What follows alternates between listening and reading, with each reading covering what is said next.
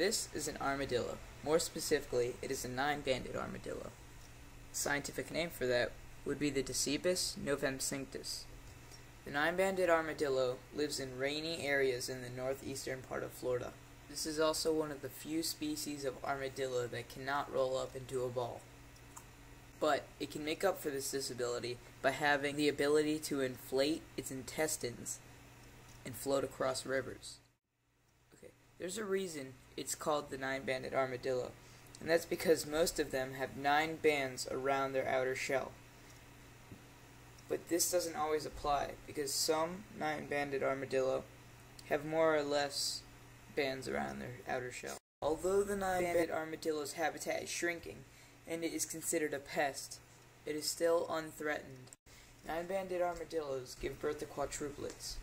The quadruplets, as newborns, stay in the burrow with the mother, living off of her milk, for about three months.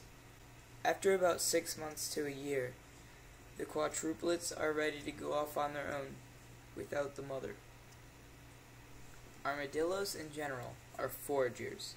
They hunt for insects, amphibians, and small reptiles.